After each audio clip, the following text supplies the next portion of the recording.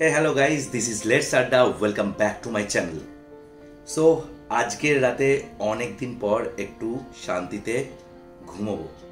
কেন? কেন তোমরা সবাই জানো কারণটা? কেননা আজকে আমার টিম ইস্ট বেঙ্গল একটা কনভিনসিং জয় পেয়েছে। হ্যাঁ তোমরা অনেকেই হয়তো এগ্রি করবে না যেটা কনভিনসিং বাট আমার কাছে কনভিনসিং কেননা আজকে ইস্ট বেঙ্গল ব্যাঙ্গালোরের মাঠে গিয়ে ব্যাঙ্গালোরকে ওয়ান নীল গোলে হারিয়েছে। গাইজ ম্যাচের কথা তো আমরা সবাই জানি। বাট সবার আগে যেটা বলতে হবে, সেটা হচ্ছে ইস্ট বেঙ্গল সাপোর্টারদের কথা। ব্যাঙ্গালোরে ইস্ট বেঙ্গল সাপোর্টাররা যে সাপোর্টটা দেখিয়েছে, আমরা আজকে টিভিতে সায়ন, রাহুলকে দেখতে পেলাম চোখের জল ফেলতে। অ্যাকচুয়ালি ওরা তো আমাদেরকেই রিপ্রেজেন্ট করছিল, তাই না? আমাদের মতো অগণিত ইস্ট বেঙ্গল সমর্থকদের রিপ্রেজেন্ট করছিল, যারা সবাই চোখের জল ফেলছিল। তো সায়ন, রাহুল আর তোমাদের মতো যারা ইস্ট বেঙ্গলকে সমর্থন করো, তাদেরকে হ্যাটস অফ কেননা তোমাদের মতো সমর্থকদের জন্যই আজও ইস্ট বেঙ্গল টিমটা কিন্তু মাথা উঁচু করে দাঁড়ায়। তাই ইস্ট বেঙ্গল টিম খারাপ খেলছে বা ইস্ট বেঙ্গল টিম ভালো খেলছে সব কিছুই আমাদেরকে নিতে হয়। খারাপ খেললে আমাদেরকে অনেক সমালোচনা শুনতে হয় প্লেয়ারদের পাশাপাশি। তাই যখন ভালো খেলবে প্লেয়ারদের যেমন আমরা অ্যাপ্রিসিয়েট করব, সেরকম ইস্ট বেঙ্গল সমর্থকদেরও অ্যাপ্রিসিয়েট করা উচিত। যারা দিনের পর দিন উইদাউট এনি ট্রফি শুধুমাত্র পাগলের মতো এই টিমটাকে ভালোবেসে বাঁচিয়ে রেখেছে। সো গাইজ এবার আসি ম্যাচের কথায়। গাইজ যদি আজকের ম্যাচটার কথা বলো, তাহলে এই আইএসএল ডার্বির ম্যাচটা আর আজকের ম্যাচটা ইস্ট বেঙ্গল সব থেকে বেশি ভালো খেলেছে। এটা আমার ওপিনিয়ন আজকের ম্যাচটা আমরা ওয়ান নীল গোলে জিতেছি, আর আমি এটাও বলছি যে এইরকমভাবে ডেলি খেললে আমরা হয়তো উড়িষ্যা বা হায়দ্রাবাদের কাছে জিততে পারব না। বাট পজিটিভ ব্যাপারটা কি জানো তো? আজকে ম্যাচটাতে ইস্ট বেঙ্গল একটা টিম গেম খেলেছে। আজকের ম্যাচটাতে ইস্ট বেঙ্গল শুরু থেকে অ্যাটাক করছিল। সেটা বেশ ভালো লাগছিল। দেখো, আমরা সবাই জানি স্টিফেন কনস্ট্যান্টাইন চার চার দুই ছকে খেলে। যেটা আজকের মডার্ন ফুটবলে একটা বেসিক ফর্মেশন এই ফরমেশনে খুব কম কোচেরাই আজকে খেলায়। আই ডোন্ট নো বাট আমি চাইব ইস্ট বেঙ্গল খুব তাড়াতাড়ি ফোর থ্রি টু ওয়ান এই ফর্মেশনটাকে অ্যাডাপ্ট করুক। কারণ এটা দরকার। ইফ ইউ আসমি গাইজ আজকে আমরা ব্যাঙ্গালোরকে হারিয়েছি ঠিকই বাট ব্যাঙ্গালোর কিন্তু তার নিজের ছন্দে বা নিজের ফর্মে একেবারেই ছিল না। ব্যাঙ্গালোরে যেসব প্লেয়ারগুলো আছে, রায়কৃষ্ণা, প্রবীর, উদান্তা, সুনীল ছেত্রী হাবি রামিরেজ এরা কেউ তাদের ফর্মে নেই। এরা কেউ তাদের ছন্দে নেই। ব্যাঙ্গালোর বক্সে ঢুকে অ্যাটাকই করতে পারছিল না। হ্যাঁ সেখানে অবশ্যই ক্রেডিট দেবো আমাদের ইস্ট বেঙ্গলের ডিফেন্সদের বিশ্বাস করো, আমি ম্যাচের শুরু থেকেই ভয় পাচ্ছিলাম যখন আমি দেখলাম স্কোয়াডে অঙ্কিত মুখার্জি রয়েছে। তোমরা যারা কালকে আমাদের লাইভটা দেখছিলে, আমি বারবার বলছিলাম যে অঙ্কিতের জায়গায় আমি রাকিবকে চাই।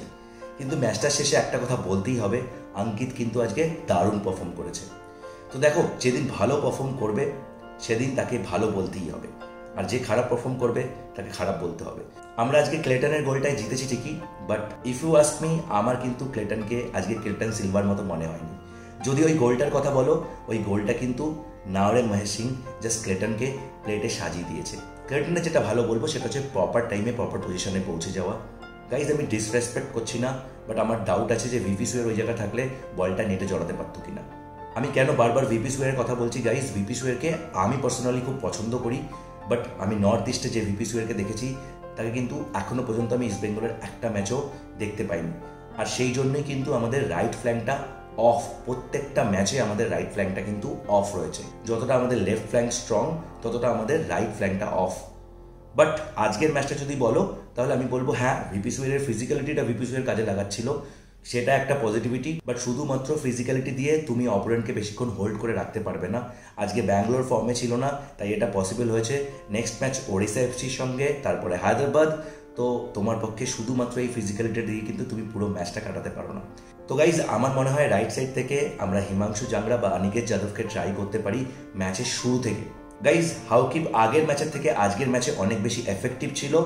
বাট তাও আমি বলছি হাউকিপকে আরও ভালো ফুটবল খেলতে হবে। আস্তে আস্তে কিন্তু ইভান গঞ্জালিস তার ছন্দে ফিরছে। কেননা গোয়া যে স্ট্র্যাটেজিতে ফুটবল খেলে, ইস্ট বেঙ্গল কিন্তু সেম স্ট্র্যাটেজিতে ফুটবল খেলে না। তাই ইভান গঞ্জালিসের হয়তো একটু টাইম লাগছে। আর ইভেন গঞ্জালিস যখন হান্ড্রেড পার্সেন্ট ফিট থাকবে আর নিজের ফর্মে থাকবে, আমার মনে হয় আরও বেটার ফুটবল আমাদেরকে উপহার দেবে। তাই আমি ইভেন গঞ্জালিসের ওপর আগেও গিভ আপ করিনি, এখনও গিভ আপ করছি না। আর লাল চুংনুঙ্গাকে নিয়ে কি বলব গাইজ লাল চুংনুঙ্গা অসাধারণ। গাইজ ডার্বির পরে চেন্নাইয়ের ম্যাচটা ইস্টবেঙ্গল যেরকমভাবে খেলছিল, তাতে সত্যি সমস্ত সমর্থক আশাহত হয়েছে।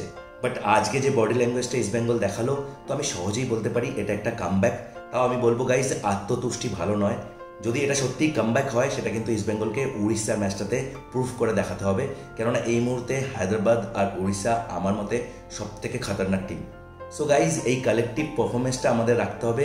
আর তার সঙ্গে দরকার আমাদের সাপোর্টারদের এইরকম একটা সাপোর্ট সো সিরিয়াসলি গাইজ গর্ব হয় যখন আমি বলি যে আমি ইস্ট বেঙ্গলের সাপোর্টার আমি মানছি অনেকদিন ধরে ট্রফি নেই বাট যখন তোমার টিম এইরকম পারফর্ম করে, তখন সত্যি খুব ভালো লাগে। তাই আমাদেরকে স্টেপ বাই স্টেপ আমাদেরকে ইমপ্রুভ করতে হবে। টিমের মধ্যে অনেক কিছু ফাইন টিউনিং দরকার। আর আমার মনে হয় ইস্ট বেঙ্গল টিম এই ফাইন টিউনিংগুলো করে পরের ম্যাচগুলোতে আরও ভালো পারফর্ম করবে। জানুয়ারি ট্রান্সফার উইন্ডোটা আমাদের কাছে খুব ইম্পর্টেন্ট গাইজ কনসিডারিং লিমা আর দোয়ার্তি আমি জানি না তোমরা আমার সঙ্গে এগ্রি করবে কিনা। আমাদের ইস্ট বেঙ্গল টিমে কিন্তু এখনও পর্যন্ত কোনো ক্রিয়েটিভ মিডফিল্ডার নেই আর কোনো প্রপার নাম্বার নাইনও নেই। তো জানুয়ারি উইন্ডোটাকে আমাদের টার্গেট করতে হবে।